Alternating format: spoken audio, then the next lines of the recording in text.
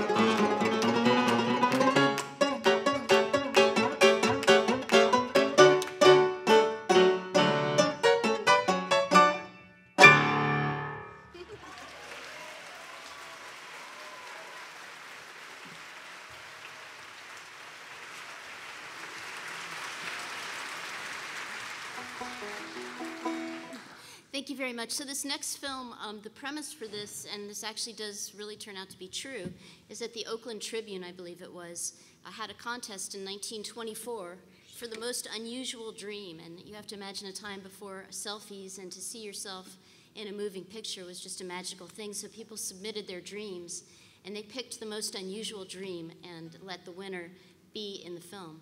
So this film is called um, the dream of Mrs. L.L. Nicholson from Oakland, California, and it features her beautiful baby.